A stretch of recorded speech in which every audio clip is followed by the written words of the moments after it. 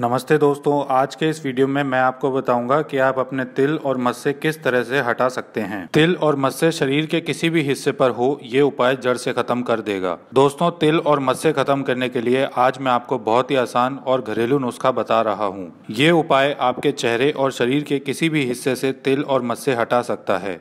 तिल और मस्से दिखने में तो अच्छे नहीं लगते, पर ये कई बार ऐसी जगह पे हो जाते हैं जहाँ पर हम कपड़े पहनकर भी उसको ढक नहीं सकते। जहाँ ये साफ़ दिखाई देते हैं।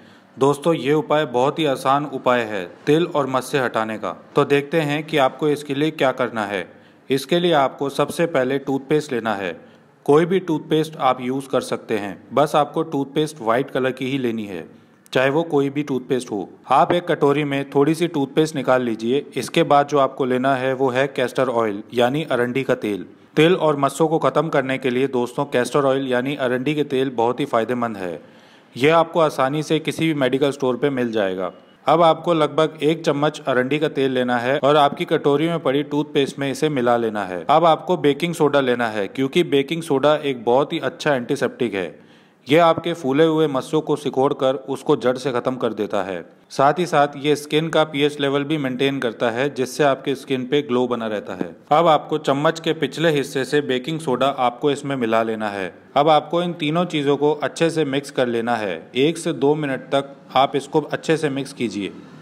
अब देखते हैं कि आपको इसका इस्तेमाल कैसे करना है।